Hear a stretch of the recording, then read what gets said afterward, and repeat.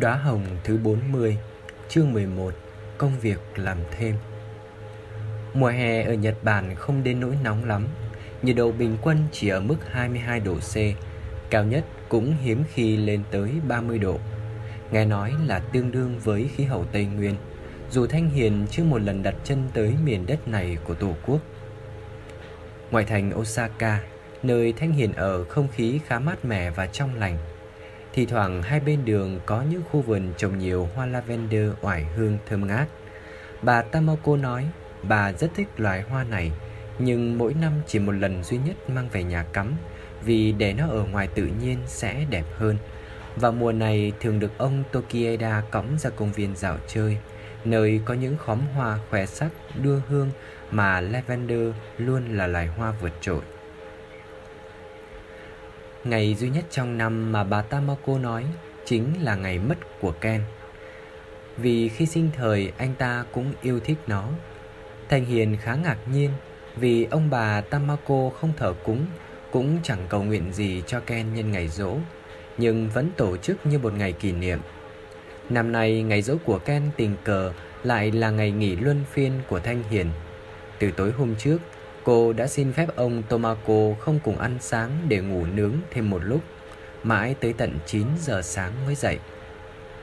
Sau khi điểm tâm tại phòng trọ bằng đồ ăn nhanh mua sẵn từ hôm trước, Thanh Hiền lên nhà chính chào ông bà thì đã thấy nhà cửa được bố trí khác lạ. Có đến ba lọ hoa oải hương trong nhà. Một ở phòng bếp, một ở cửa sổ phòng khách và đặc biệt một lọ để ở trên cây dương cầm. Hôm nay đã được tháo bỏ tấm vải tre Bà Tamako nói, Còn một lọ nữa để ở phòng riêng của Ken Nhiều năm nay vẫn để nguyên hiện trạng, Còn cây đàn dương cầm kia cũng là của Ken Kể từ khi anh mất, Chỉ được mở vải tre vào ngày này hàng năm Để tưởng nhớ anh Thanh Hiền nghe chuyện ngập ngừng một lúc rồi lên tiếng Dạ thưa, cháu có thể chơi đàn được không ạ? À? Cháu cũng biết chơi dương cầm ư. Ông Tokieda tròn mắt tỏ vẻ ngạc nhiên. Cháu chưa từng nói với ta điều này. Dạ vâng ạ. Cháu quên chưa kể cho ông bà là cháu từng học đại học sư phạm về âm nhạc Và dương cầm là môn chuyên ngành của cháu. Nhưng cũng đã nhiều năm nay, Bằng cấp ấy cũng không giúp ích gì cho cháu, Nên cháu cũng không muốn kể cho ai nghe ạ. Đại học sư phạm về âm nhạc cơ à? Ông Tokieda lại thốt lên. Cháu thử xem. Hẳn là cháu chơi đàn hay hơn Ken rồi. Dạ không chắc đâu ạ. Nhất là đã từ lâu cháu cũng không đàn rồi. Thanh Hiền ngồi lên ghế và thử phím. Rồi cô vào bài. Bỗng dưng cô nghĩ nên đàn một bài thánh ca công giáo để cầu nguyện cho Ken. Bài hát thường được hát vào tháng 11 Tháng cầu cho các linh hồn. Sự sống thay đổi mà không mất đi. Thanh Hiền cũng nhớ đến mẹ Về những hy sinh của mẹ trong suốt cuộc đời. Nhớ đến em Hòa Vì đã thiệt mạng một cách oan uổng khi còn thơ ngây. Mỗi khi ngồi trước đàn dương cầm Là Thanh Hiền như có thánh Cecilia nhập. Mọi người trong cộng đoàn sinh viên xa quê thường nói đùa vậy. Giờ đây, bao tâm tình thương nhớ dồn lại Tiếng đàn trở nên âu sầu, tha thiết. Thanh Hiền không cầm được nước mắt khi phím nhạc lướt đến. Cuộc sống này bao nhiêu lần đưa tiễn ngậm ngùi Nhưng con tin rằng ngày mai trong Chúa Chẳng có chia lìa, chẳng có hợp tan. Bà Tamako cũng dùng khăn tay chấm lệ Còn ông Tokieda quay mặt đi. Đàn dừng một lúc lâu mà ba người lặng yên không nói một lời. Mãi sau, ông Tokieda mới nghẹn ngào. Ông không biết bản nhạc này Có lẽ là một bài hát Việt Nam chăng? Nhưng nghe thật bi thương. Dạ, là một bài hát tưởng nhớ người đã khuất ông ạ. À. Thanh Hiền không dám nói đây là thánh ca công giáo, cầu nguyện cho linh hồn đã qua đời, vì sợ ông Tokieda phản đối. Nếu buồn quá thì cháu chơi bài khác nhé.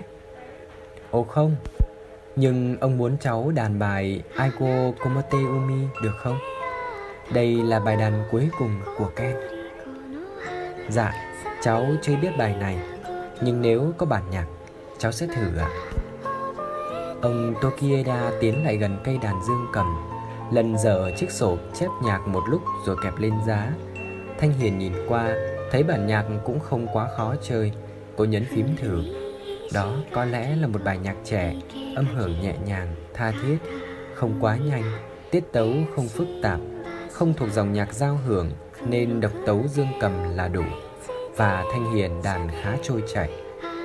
Khi kết thúc bản nhạc, Không thấy ai lên tiếng. Thanh Hiền quay lại thấy hai ông bà cầm tay nhau, Vẻ mặt trầm ngâm, Dù rõ ràng là bài nhạc không quá buồn. Cô nhỏ nhẹ Dạ cháu xin lỗi, Vì lần đầu cháu đàn nên không được hay ạ. Ồ không, Ông Tokida vội đáp, Cháu đàn hay lắm, Dĩ nhiên là nếu luyện nhiều thì sẽ hay hơn Chỉ là chúng ta nhớ Ken mà thôi Ông Tokieda dừng lại một lát rồi nói tiếp, giọng trầm buồn. Bài hát này là một bài nhạc trong bộ phim dành cho tuổi trẻ, nói về một cô gái mong ngóng ngày gặp lại người yêu. Không biết khi nào chúng ta sẽ gặp lại Ken nhỉ? Trên thiên đàng. Ôi, ông đừng nói thế ạ. À? Thanh Hiền vội đáp lời. Ông bà còn khỏe lắm ạ. À. à ha, ông Tokida bất ngờ bật cười.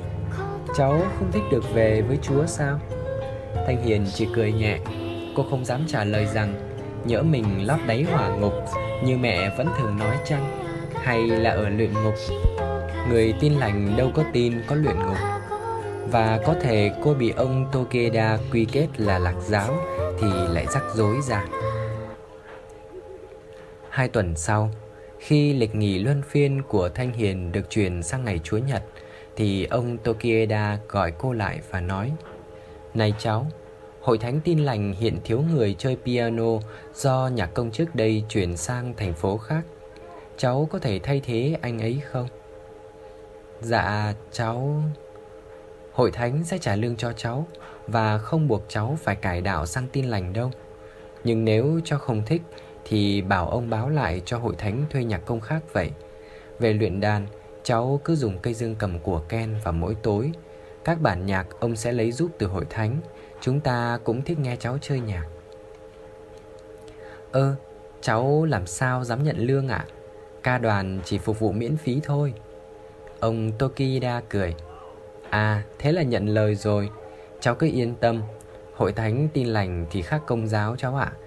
Nhà công trước đây cũng nhận lương mà mỗi cơ đốc nhân của hội thánh đều dâng hiến 10% hoa lợi, nên hội thánh có đủ tiền trả cho những người phục vụ. Cuối tuần này cháu đi với ông đến nhà thờ thử việc nhé. Thanh Hiền ngỡ ngàng, nhưng dù sao thì cô đang rất cần tiền, và một lần nữa cô lại mang ơn ông Tokieda. Có lẽ ông cũng biết điều ấy mới ngỏ lời đúng lúc cô được nghỉ luân phiên vào ngày Chủ nhật.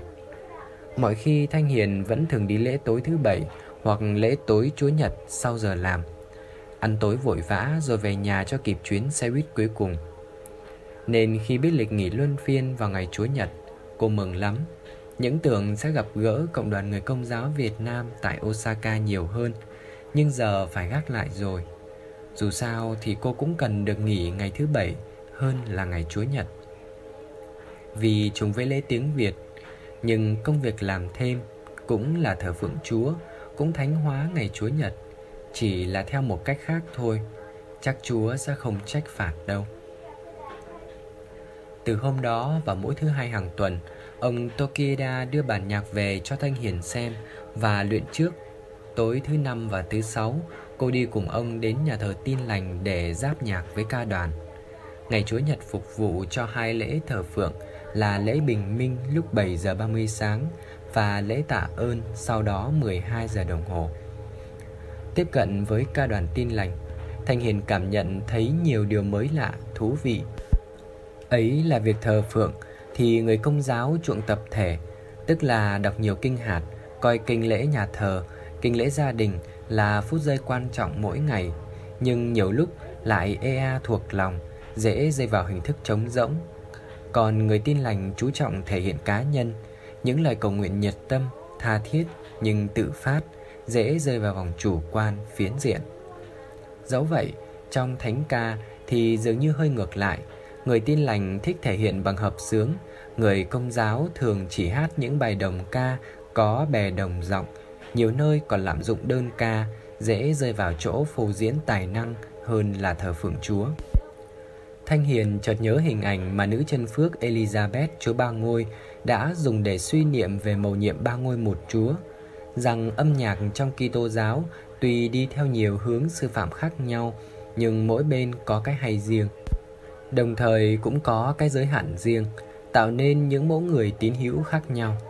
Nếu biết đón nhận nhau, hai nền thánh nhạc sẽ tạo thành một bản hòa âm, một sự hòa điệu sâu xa, một chân trời hiệp nhất cho các hệ phái Kitô giáo. Một bản hợp sướng nhiều bè nhưng rất hòa hợp chứ không hề bị tranh phô. Tham dự đến hai lễ thờ phượng mỗi cuối tuần ở nhà thờ tin lành cũng là một vấn đề của Thanh Hiền. Nhờ được chuyện trò với ông bà Tokieda mỗi ngày, lúc này tiếng Nhật của Thanh Hiền khá tốt, nên có cố gắng không nghe những lời mục sư giảng cũng không được. Nó cứ lọt vào tai. Và điều nguy hiểm là cô thấy các mục sư giảng rất hay, nghe rất thuyết phục, khiến cô hơi hoảng. Trộm nghĩ không khéo, mình nghe lâu lại ngả sang tin lành thì hỏng bét. Thậm chí có lúc cô còn nghi ngờ ông Tokeda dẫn dụ mình một cách khéo léo, tinh vi nữa cơ.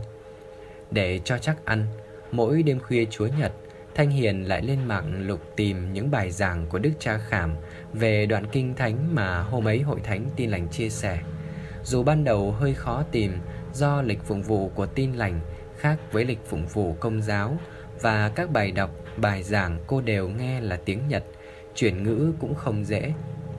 Điều sung sướng là Thanh Hiền thấy những bài giảng của Đức Cha Khảm còn hay hơn và những điểm sai khác của mục sư thì tự mình loại ra. Thành thử cô luôn tự tin mình sẽ không bị lạc. Khoản làm thêm ở nhà thờ tin lành Tuy không nhiều nhưng cũng giúp cho Thanh Hiền có thêm tiền gửi về nhà trả nợ. Cô cũng được luyện đàn thường xuyên cho đỡ buồn và khả năng chơi đàn không bị mai một. Dù đôi lúc nhìn vào những ngón tay thon dài đẹp đẽ đang dần xấu xí, nhăn nheo và chai lại vì phải làm việc vất vả, Thanh Hiền cũng ấm ức. Đôi tay này được sinh ra để chơi đàn chứ đâu phải để xếp cá, xếp cơm vào hộp chứ. Mấy tháng sau, Thanh Hiền được tin ông Minh đã vay nóng thêm tiền, góp chung với một số bạn thủy thủ cũ mua một con tàu mới để ra biển. Vì giờ này bé cò đã có thể theo mẹ ra chợ mà không cần người trông nữa. Thanh Hiền vui ít, lo nhiều. Lo vì giờ đây mọi tài sản đất đai, nhà cửa của gia đình cô đều nằm trong tay ngân hàng, lại còn tiền vay nóng nữa. Nhưng cũng vui vì biển miền Trung đã bình yên trở lại, bố đã có việc làm, dù sao đi chăng nữa, ông cũng là ông ngoại của bé cò, sẽ có trách nhiệm với nó. Ngoài ra, việc ông đi biển cũng trợ giúp cho chị Hương như ngày xưa hỗ trợ mẹ bán cá, hai người sẽ chung tay nuôi dưỡng bé cò được tốt hơn. Gia đình cô lại vận hành như thuở xưa với vai trò của mẹ đã được chia đôi cho hai chị em Hương, Hiền. Tiền cô gửi về cũng đã tạm trả được một phần gốc hai trăm rưỡi triệu đã vay. Nếu tàu thuyền của bố cũng thuận lợi nữa thì sẽ mau chóng dập được nợ ngân hàng và lấy sổ đỏ về.